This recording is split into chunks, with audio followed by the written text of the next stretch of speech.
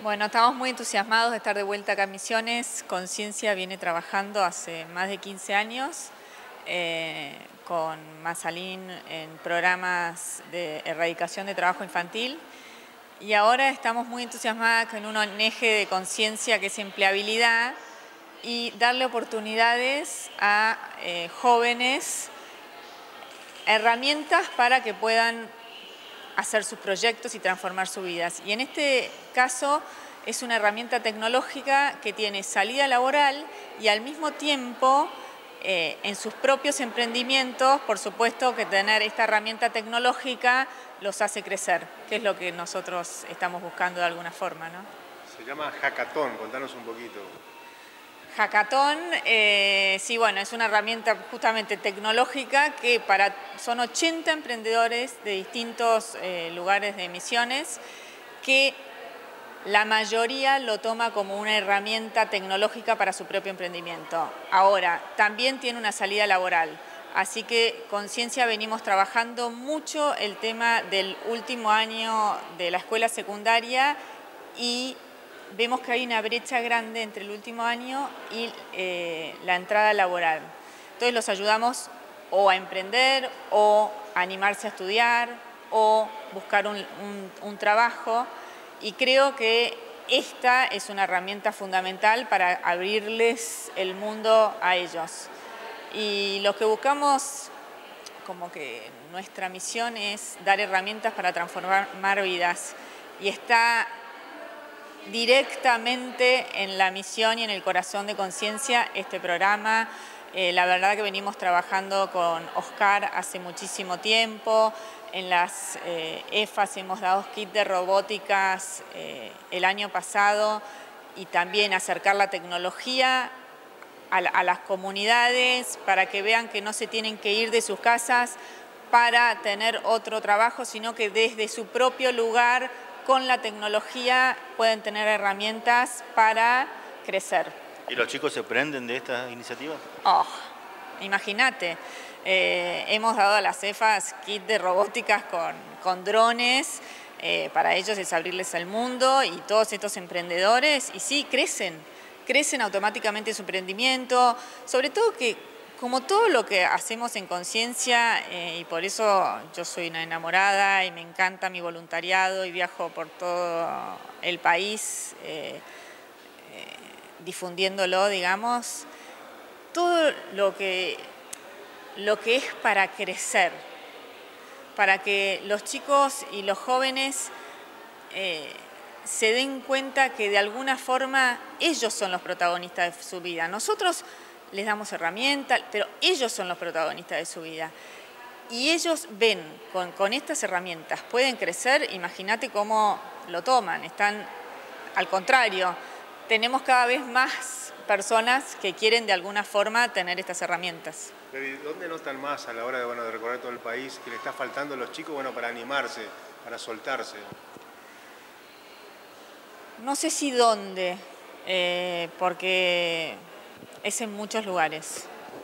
Eh, y yo los animo a todos que nosotros lo que vemos en conciencia, que la herramienta más importante para que los chicos crezcan es el vínculo. Es el estar ahí, que alguien de conciencia conozca su historia, sepa su historia, crea en él, porque a veces no creen ni ellos mismos, crean en él entonces yo los invito a todos a que los hagamos cada uno desde nuestros lugares. O sea, mirar a los jóvenes, creer en ellos, tienen un potencial enorme y cuando uno crea ese vínculo, salen adelante. Tiene que ver con la tecnología, pero tiene que ver también con la posibilidad del crecimiento y del desarrollo que se van dando en diferentes áreas en nuestra provincia. Yo debo de destacar dos o tres cuestiones que me parece que son importantes, nada más. Después el resto lo voy a dejar a los que saben. A los que saben. Primero, quiero agradecerle a Lucas, que es un poco quien tiene la chispa, las ganas, el conocimiento de llevar adelante los diferentes desafíos, no solo esto, sino los diferentes desafíos. Y quiero reconocerlo acá con ustedes porque si bien no se va a desentender de esto a partir del mes de diciembre, va a ser nuestro diputado provincial. ¿Sí? O sea, Lucas va a ser nuestro diputado provincial. Entonces creo que creo que la Cámara de Representantes de la provincia va a seguir fortaleciendo estas unidades creativas que tenemos en, en Misiones. Quiero también reconocer el trabajo de Flavia Morales, que es nuestra diputada nacional. Mucho de lo que hoy hacemos en materia de innovación, de tecnología y de integración, no solo en Misiones, en el mundo, lo lleva adelante Flavia desde el Congreso de la Nación, ¿sí? desde el Congreso de la Nación, con diferentes programas desde la Nación para la provincia y desde el sector privado para la provincia en Argentina y en el mundo.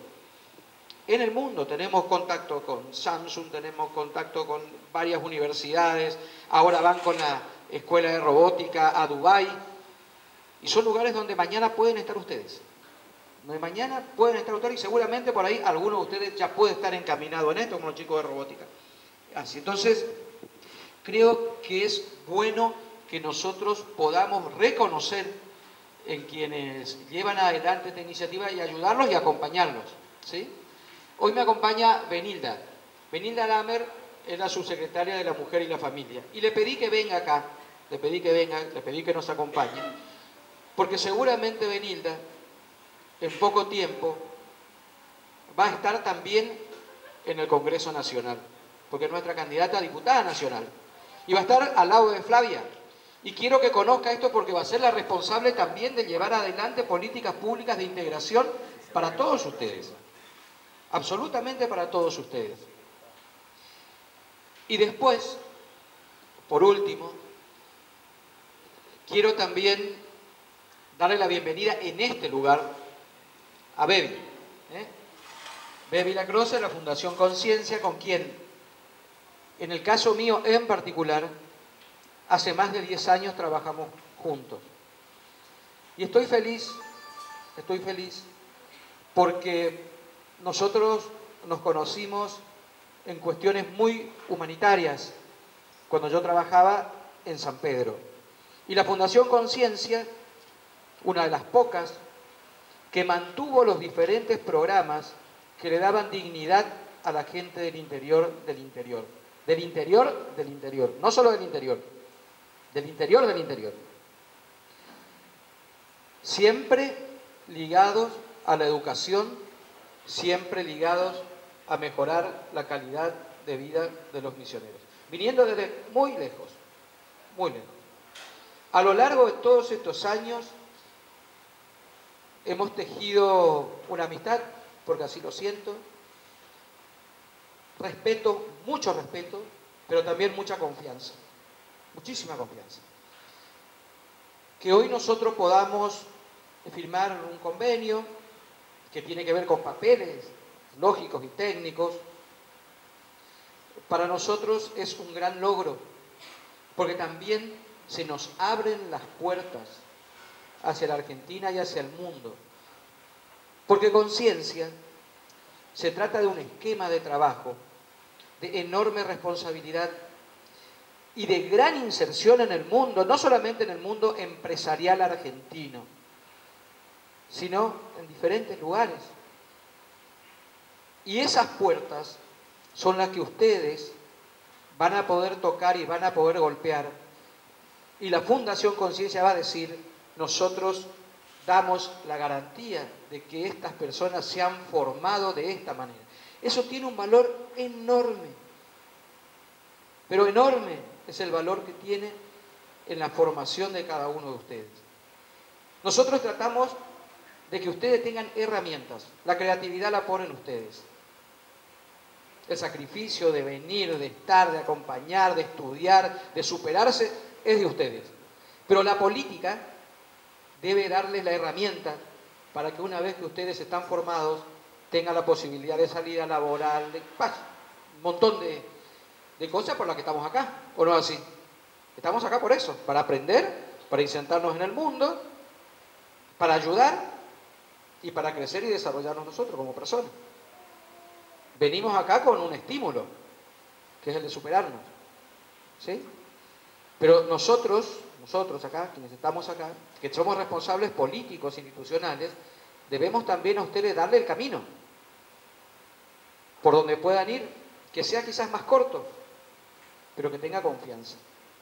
Por eso quería estar hoy, quería charlar con Bebi, con su equipo de trabajo, porque sé de su compromiso con Misión. Quería agradecerles, pero también quería que ustedes sepan que estamos en un camino que nos abre las perspectivas de futuro. No hay posibilidad de que solo nosotros, solo nosotros así, chiquititos, podamos encontrar mucho más cosas. La vamos a encontrar siempre que generemos confianza hacia afuera y que cuando llega un misionero a cualquier lugar de la Argentina, llegue justamente con una base sólida de conocimiento y de responsabilidad. ¿sí? Así que todas estas actividades que, que se generan en este polo de desarrollo de tecnología, de innovación, de conocimiento, todo esto está volcado hacia ustedes, absolutamente hacia ustedes. Todo hacia ustedes, hacia los jóvenes. ¿sí? ¿Que nos faltan muchas cosas? Sí, es cierto.